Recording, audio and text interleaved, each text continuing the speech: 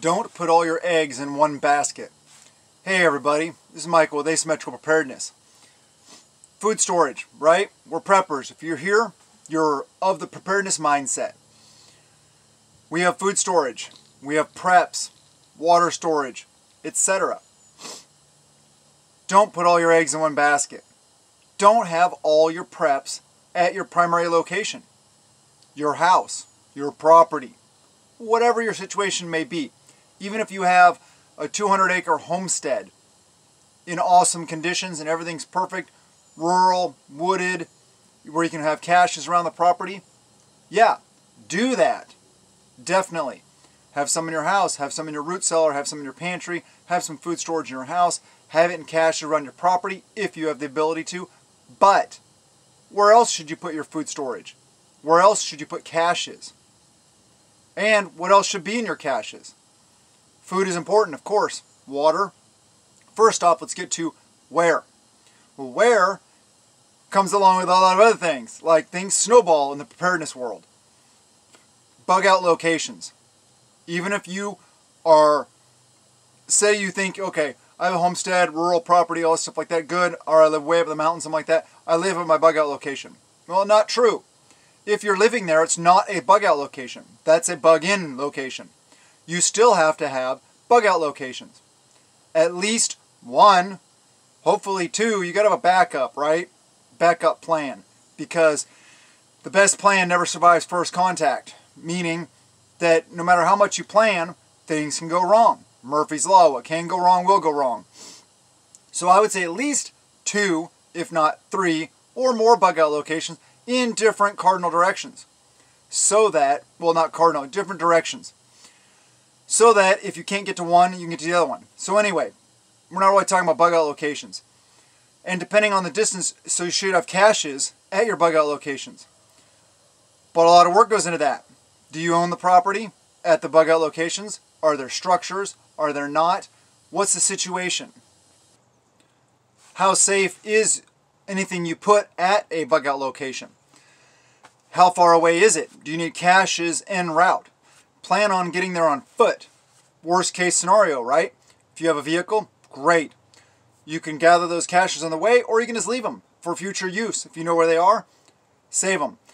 But anyway, have your food storage, whatever else your preps consist of, in multiple locations. Because what happens if you plan to bug in? Which is optimal, I think, because you have, you know, I have my gardens here, I have, I'm set up. I don't want to bug out, but we have to have the capability to do so. So have some food storage at your house, of course. If you have to bug in, you got to be prepared for that. But you also got to be prepared, to bug out. Caches en route, caches at the bug out locations, all this kind of stuff. Maybe a friend's house, maybe a storage unit here, storage unit over there. Depending on where your situation is, where you live, what the dynamic is, rural, urban, suburban, those kind of things. And the ability to bury caches, hide caches, dependent on the terrain, where you live. If it's a frozen tundra all the time, are you going to drill through 10 feet of ice to get your bug out or your cache? Mm, no. You guys got to figure that out though. What works for you and how it works for you. But don't keep all your eggs in one basket. Spread it out because you never know what's going to happen. Second off, what should you have in your caches? I'm talking about caches en route to somewhere else. A safe haven, a bug out location, a mountaintop cabin, a um, cabin in the woods, your buddy's house, whatever it may be. If you got to travel more than say like 10 miles or something like that, that where you can walk easily on foot, you need to have stashes. Even if you have to do that, due to a dynamic changing situation, it may take you a lot longer to travel that 10 miles than normal. So still have a cache maybe halfway. What should be in the caches? Well, definitely food, definitely water, maybe a defensive tool, something to defend yourself with, maybe an extra knife, Maybe, um, oh, and food in caches, I feel should be ration type food. Rations mean no preparation needed. You can just eat it. Canned goods. Canned goods are good. Uh, ration bars, like we talk about SOS, Grizzly, Datrex, those kind of things, um, where you can just eat them. They're like the sugar cookie bars or shortbread. Those kind of things. MREs, um, things like that.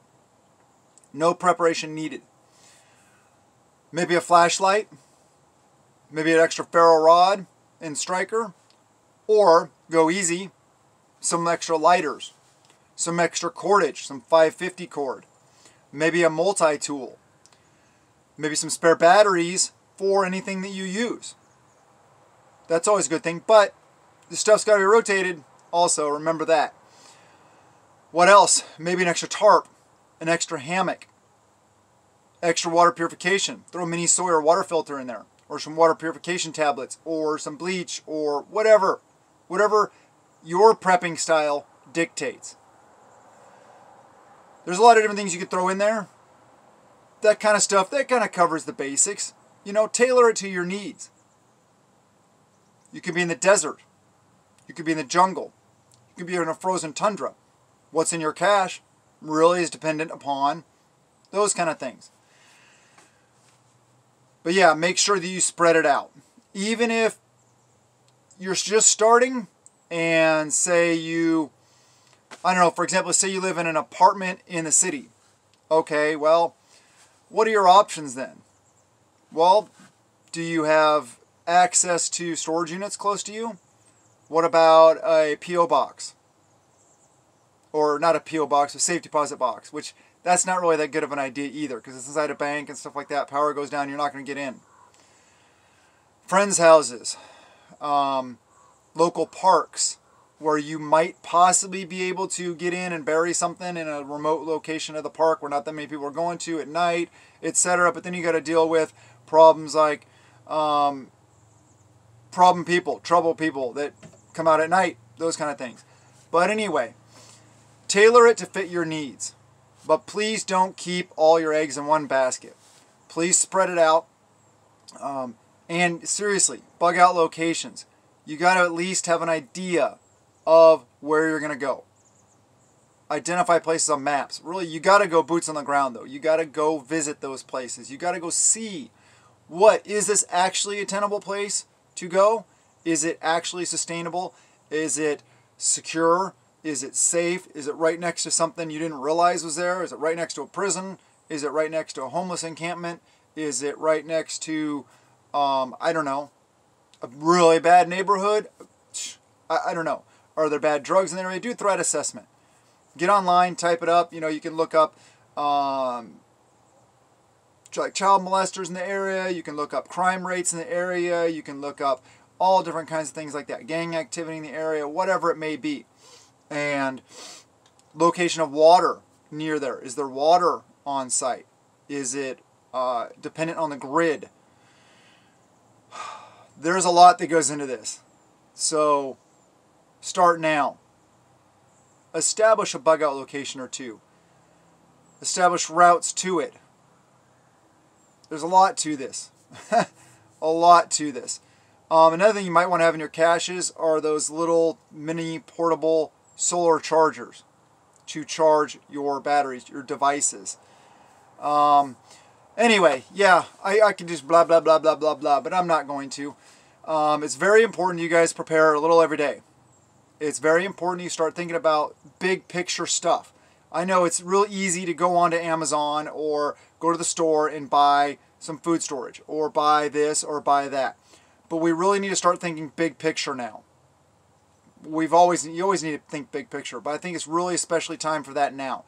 The more in-depth things, the things that are more difficult to do. It's easy to, to get online and order yourself a year of food storage. Yeah, it is, if you got the money. But what about bug out locations? What about caches? What about alternate routes to your bug out locations? What about rally points? What about com plans with your people? If you don't have people, Get off of Amazon. Stop ordering yourself stuff and go find some people. Because it doesn't matter how much food storage you have, if you don't have people to help you protect it, to help you take care of it. If you're on a homestead, to help you uh, grow, till, harvest, raise your animals, all these kind of things, along with everything else.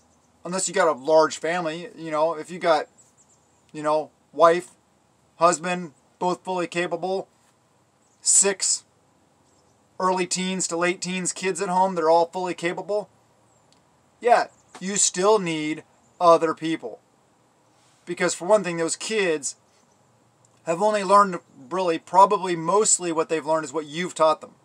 So there's no variance in skill sets. Variance in skill sets is important. So I guess this kind of video is also about mutual assistance groups because groups are so important right now. You got to have backup. It's morale too. It's really good for your morale to know, hey, I'm not in this alone. I have somebody else that I can count on.